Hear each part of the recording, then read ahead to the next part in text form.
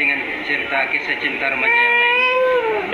Tapi yang lebih menarik, latarnya dibuat di Taman Perlindungan Orang Hutan. Ini kisah cinta kok, Pak?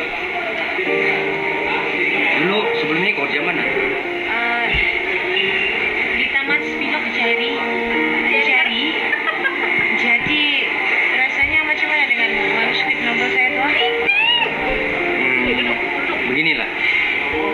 Saya akui yang cerita ini memang bagus.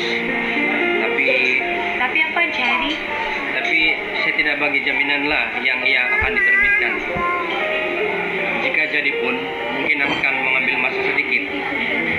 Masalah sekarang, ramai lagi penulis yang juga menunggu giliran karya mereka diterbitkan.